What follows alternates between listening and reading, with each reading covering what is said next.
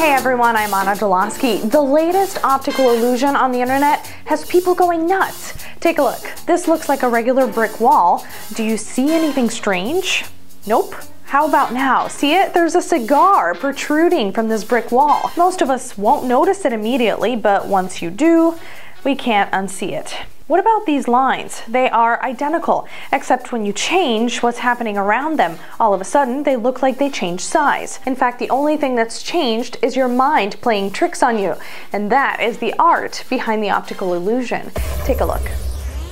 When you look at something, your eyes register light. So what you're seeing is actually light converted into images that your brain processed. This happens really, really fast, like tenth of a second fast, since your brain takes in a lot of information at once. So it's not surprising your brain can't focus on every single aspect of an image at all times. Shortcuts like these are why optical illusions can fool the brain. In fact, eyes have very little to do with what we see. Take these squares for example. Again, two objects that are identical, but what if we put them on different backgrounds?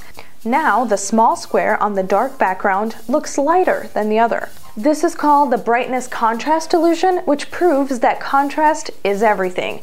There are other optical illusions which trick our minds into seeing shapes that aren't really there. That's famously illustrated in the Hermann grid. The light-sensitive cells in our eyes, called rods, have different photoceptors for light and dark objects, and at times they can leak light information into neighboring cells, creating a halo to make you think you're seeing gray circles at the intersection points of each square and some illusions make it seem like the whole object is moving.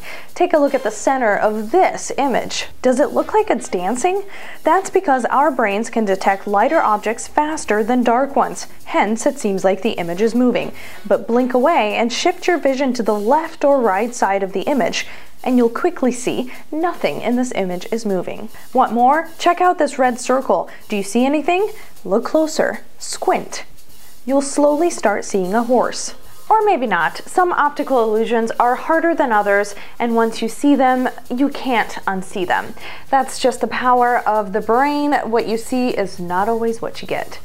To see more stories like this, like us on Facebook, visit our website, acsh.org. Don't forget while you're there, you can also sign up for your daily dose of news delivered straight to your inbox. For the Council, I'm Anna Dolosky.